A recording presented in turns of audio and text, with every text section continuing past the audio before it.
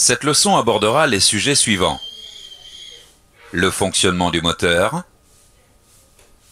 le carter cylindre, les éléments fixes, les éléments mobiles. Les moteurs essence ou diesel à combustion interne transforment l'énergie calorifique en énergie mécanique durant un cycle de 4 temps. Quel que soit le type de moteur, le vilebrequin doit effectuer deux tours, soit 720 degrés pour réaliser un cycle complet. Un temps vaut 180 degrés de tour de vilebrequin. Pour fonctionner, le moteur a besoin d'un mélange détonnant composé d'essence ou de gazole et d'oxygène présent dans l'air. Le fonctionnement du moteur s'effectue selon le cycle suivant. L'admission du mélange air-essence, la compression, l'allumage du mélange, la combustion détente et l'échappement.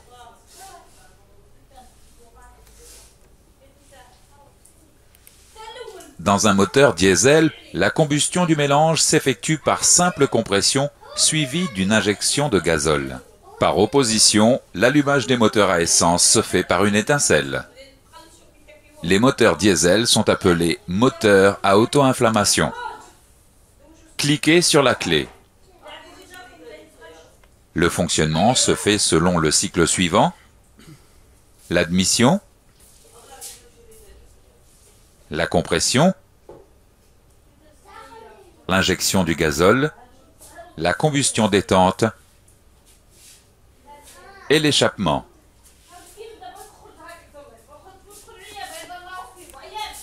Voyons d'abord la première phase du cycle, l'admission.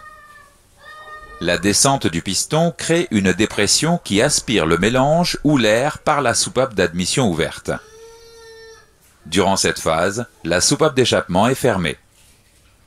Le piston redescend au point mort bas, la soupape d'admission se referme. La seconde phase est la compression. Les deux soupapes sont fermées. Le piston remonte au point mort haut.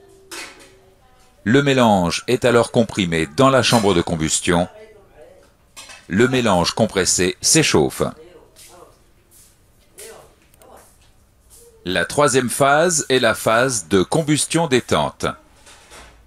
Cliquez sur la clé.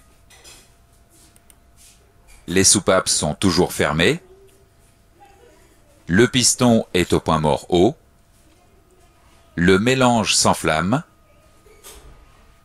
La détente chasse le piston vers le bas, c'est le temps moteur. L'énergie calorifique est ainsi transformée en énergie mécanique. Le cycle 4 temps se termine par la phase d'échappement. Une fois le piston revenu au point mort bas, la soupape d'échappement s'ouvre. Le piston remonte et chasse les gaz brûlés. La soupape d'admission est toujours fermée. Lorsque le piston revient au point mort haut, la soupape d'échappement se ferme et le cycle recommence. Dans un moteur à 4 cylindres, les cycles d'admission, de compression, de combustion détente et d'échappement sont décalés sur chaque cylindre.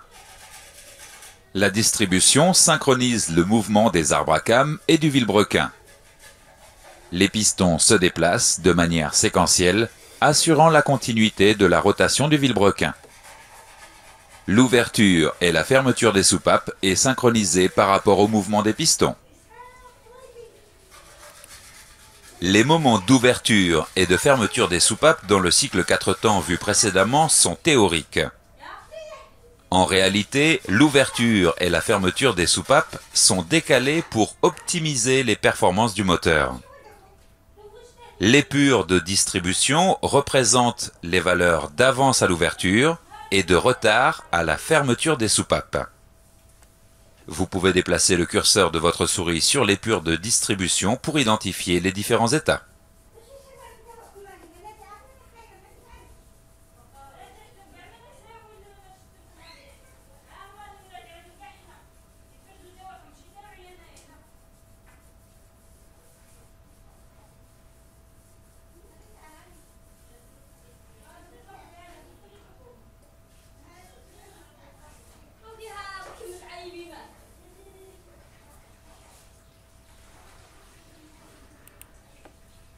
Faisons maintenant quelques exercices.